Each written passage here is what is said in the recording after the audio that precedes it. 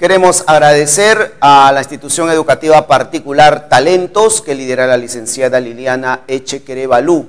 Las matrículas están abiertas eh, para el año 2017 para tu menor hijo en el nivel inicial, primaria y primaria de primero y segundo grado.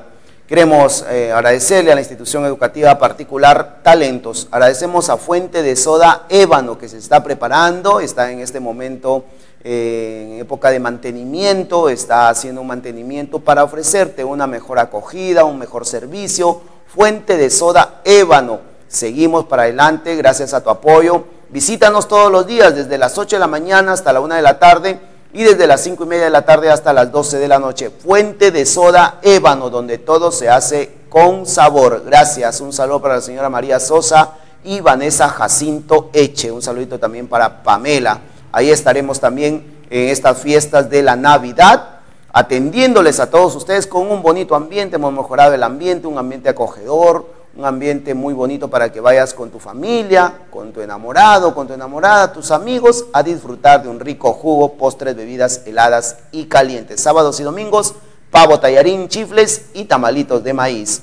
Gracias al señor Palermo Domínguez Domínguez con la venta de productos alternativos.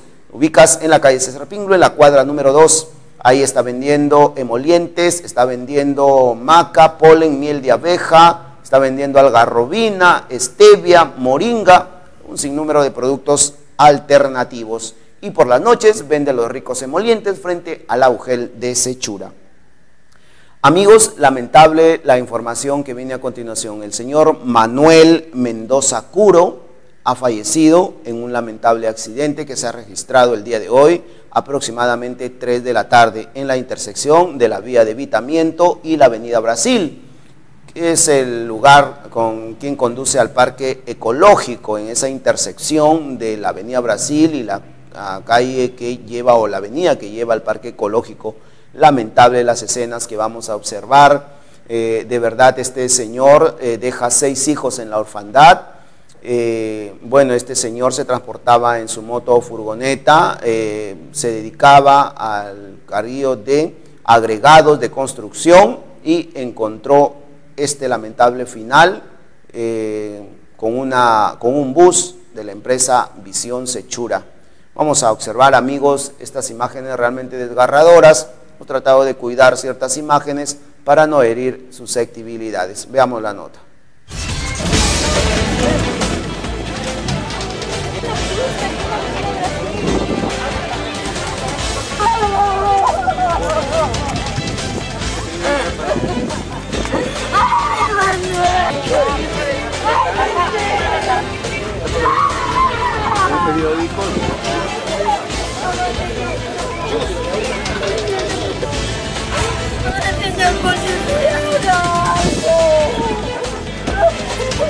No tengo que me vaya mal. Ayúdame mi familia, yo Ay, no, mi hijo, ¡Paga la guardia de tu ¡Que la matamos, señor! ¡Que señor ya pasado y no sabe dedicarse se meter como loco! ¿Usted ha visto el accidente, señora? Estábamos pasando señor que entra en la pista, el carro pasó de frente. Sí, que otra vez pasó de frente.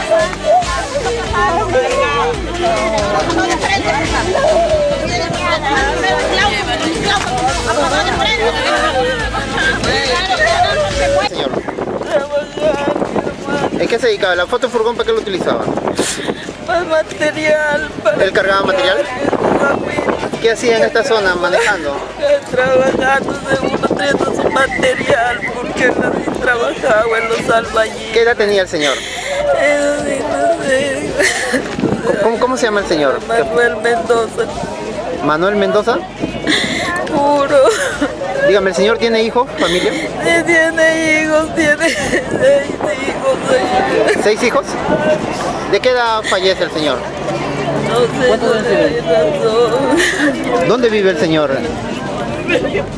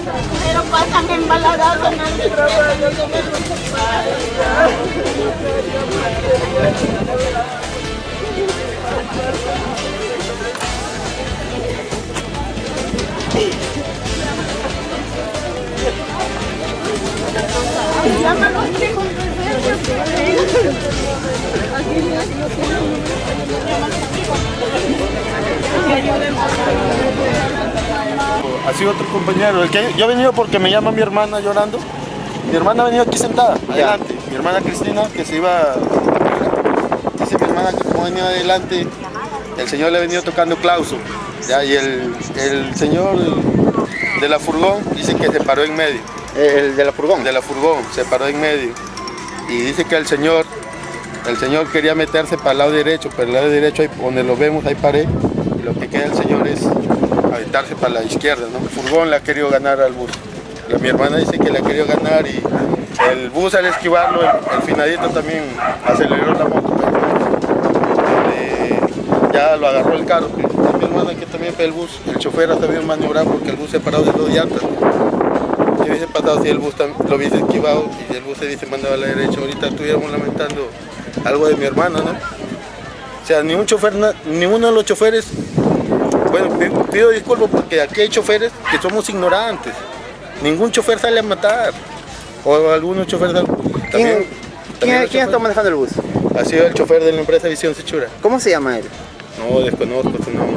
¿Y qué, tú has venido a reemplazarlo el bus? No, como he venido a ver a mi hermana, me están pidiendo el favor, como tengo yo mi brevete A3C, Ya. me están pidiendo el favor que conduzca el, el vehículo de la comisaría. Dime, ¿y el chofer a dónde se ha Está en la comisaría, ya lo han llevado porque y ya lo han llevado a la comisaría. ¿Tu hermana cómo? ¿Tu hermana menor es la, La que...? mayor, la mayor. La mayor es la que ha visto... Eh, Entonces, ella ha venido adelante. Ella, mi hermana ha venido aquí. Adelante. Ella ha visto todo. Ella ha visto todo. Ella dice que, Que el señor de la se ha metido. se le ha metido. Porque ya desde allá venía el bus que le tocaba a Klaus. Y el de la furgón se paró en medio. Y el bus ya le intentó esquivar. Cuando el bus esquiva también el señor, seguro, a eso uno en la desesperación también acelera más la moto. Bueno, escenas realmente muy lamentables. Eh, observamos acá cómo esta señora se abrazaba de un policía.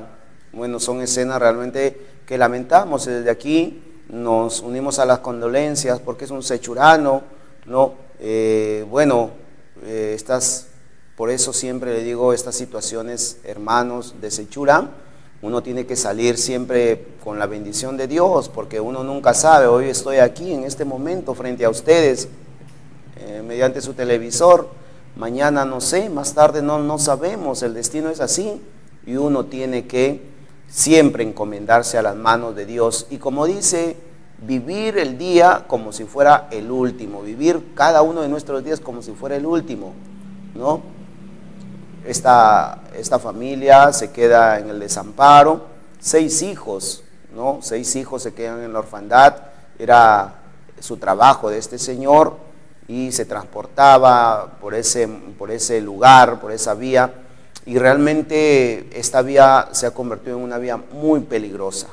Sabemos que esta vía de evitamiento se realizó en la gestión del señor Bernardo Paso Nunura y que allí también se había manifestado que se iba a hacer una señalización. Recuerdo yo, en la gestión del señor Bernardo se manifestaba que se iban a construir eh, puentes peatonales, se iba a señalizar. No hay señalización, la vía de evitamiento aquí en Sechura. No hay.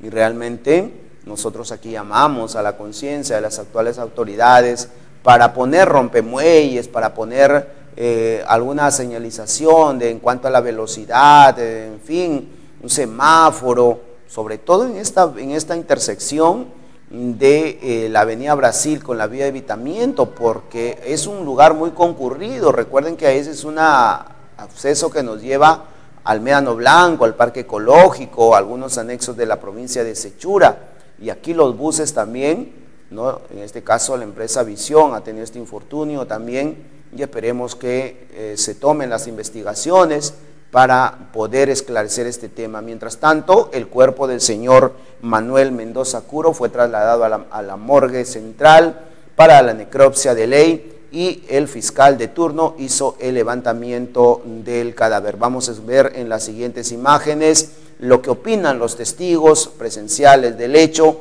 y el pedido de la población con respecto a esta vía de evitamiento. Veamos.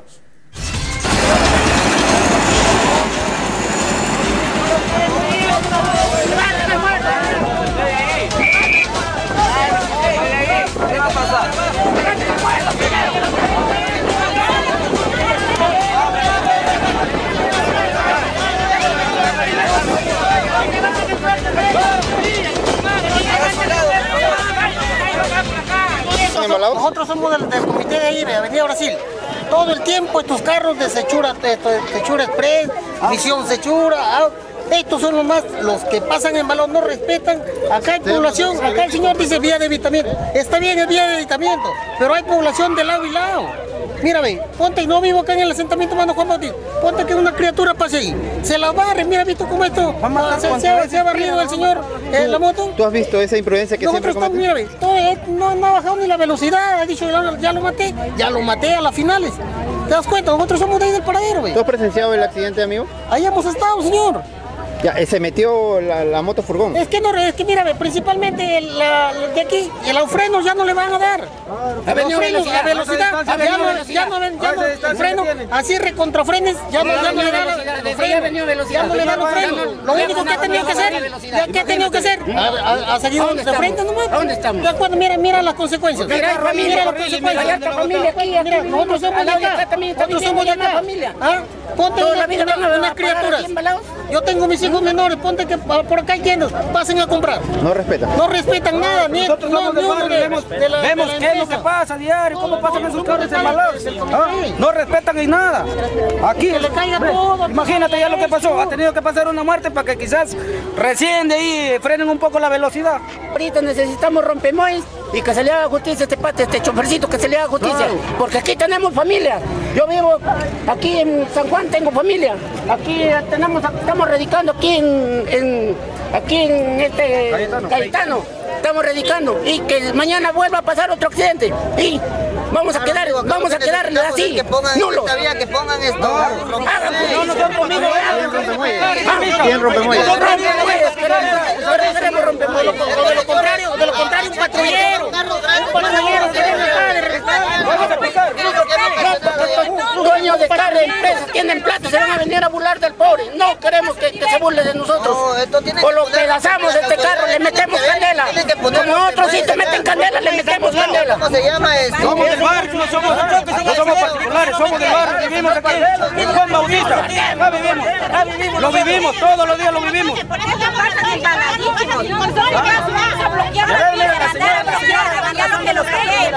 pasan como se le da la. Pasan estos niños que no en la pasar, que mañana, pasan paran aquí a en pie. el puente, en la tarde paran hacen en el puente. ¿Qué hacen en el puente? de acá los deben de ir, deben de ver.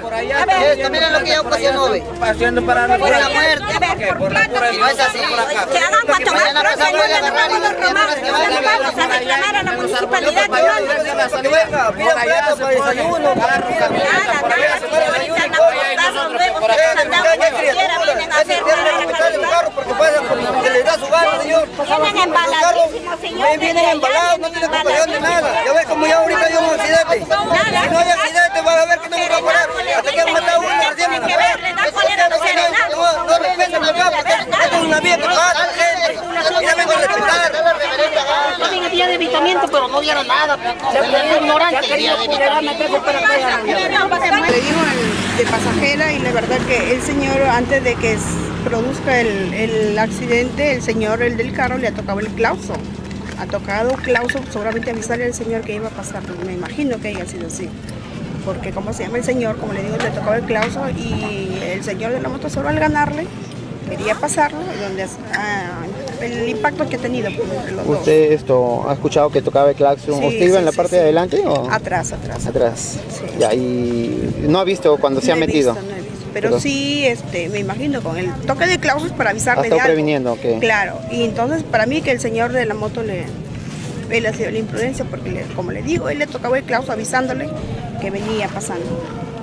De ahí ya pues el impacto es total que hemos comenzado a gritar toditos los pasajeros y el chofer se ha bajado a ver donde ya el señor ya estaba tirado en la mesa. Bueno, los pasajeros todos bien. Todos bien mal, mal, pero de todas maneras el El susto. asusto y el impacto que hemos tenido en el carro, todos hemos salido gritando. Y unos llorando, desesperados. La situación que se ha dado, pues no. ¿Han hecho algún transbordo? Sí, pero yo me he quedado porque he estado yo acá sola. Y ha venido un carro y ha llevado a los demás pasajeros. Ya señor, gracias. Maestro, ¿es su hijo? ¿Su hijo? No, es, mi sobrino. sobrino. ¿A qué se dedicaba el señor? ¿A qué se dedicaba? Era a trabajar aquí en la... Sí, nos piden material, aquí cargaba material. Amigo. ¡De luz! De los, los sentimientos humanos no hay de luz. No se pone luz pública. No hay luz, no hay luz. Tenemos que poner nuestros focos afuera para que haya luz. Estamos pagando, pagamos nosotros. No hay luz pública. No hay. San Juan Bautista pagamos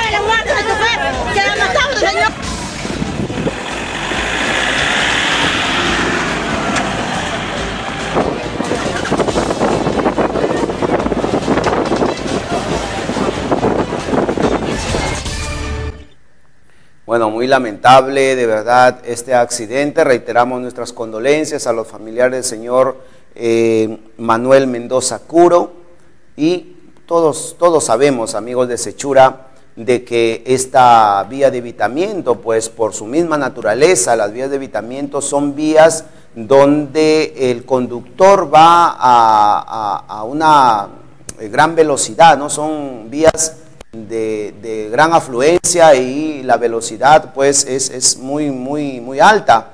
Pero sabemos que cuando hay zona urbana, estas vías de evitamiento sobre todo se tienen que señalizar, cosa que no lo tiene la vía de evitamiento de, de, de Sechura en este tramo urbanístico, digamos, porque son aproximadamente más de 10 asentamientos humanos que están en peligro de cualquier momento le suceda un accidente parecido.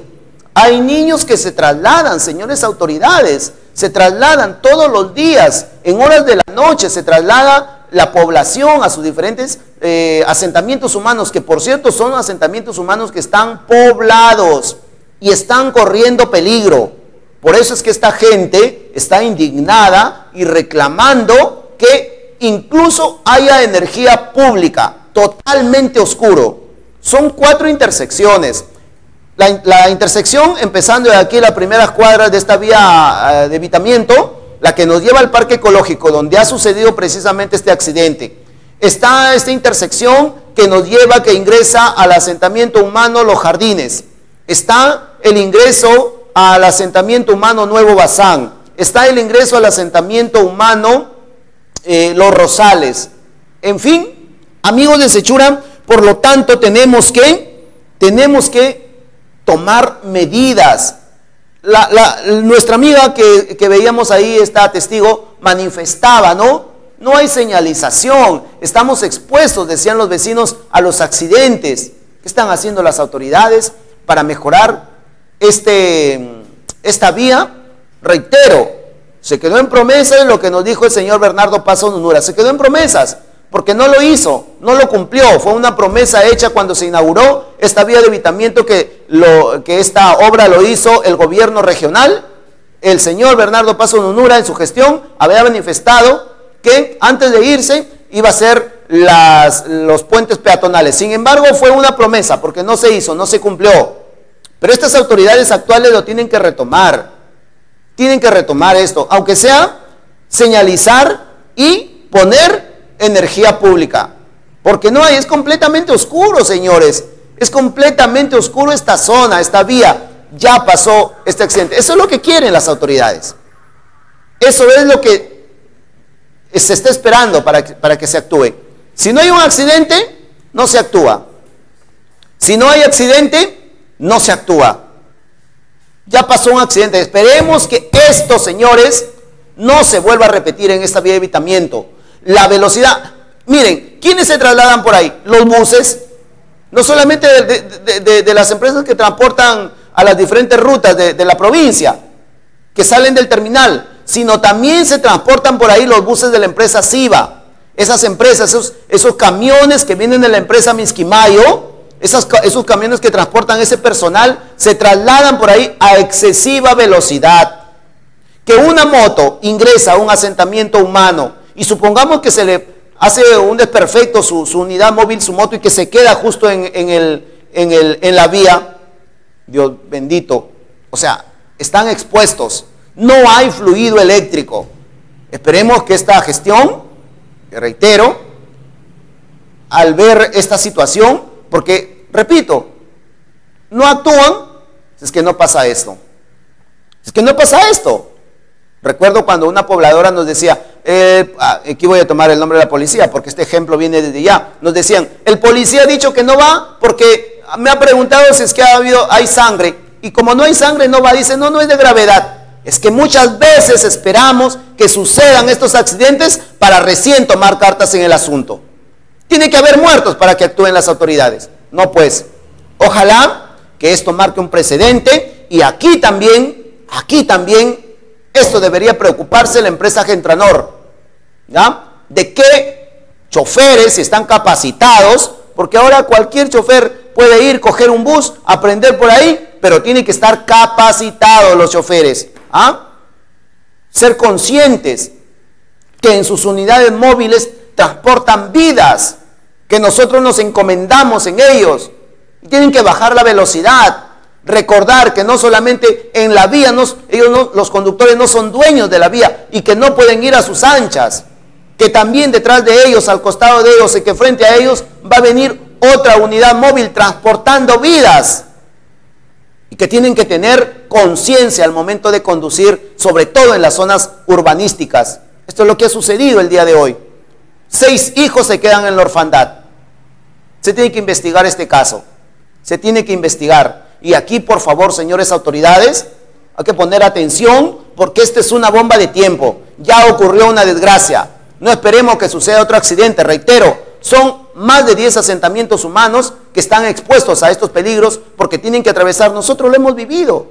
Acá comentábamos, muchos amigos que viven por esas zonas, comentábamos que en reiteradas oportunidades el- la movilidad, la moto que los transportaba al ingresar a los asentamientos humanos, justamente ahí en la intersección con la vía de evitamiento, tenían que frenar porque las unidades móviles en horas de la noche pasan a gran velocidad.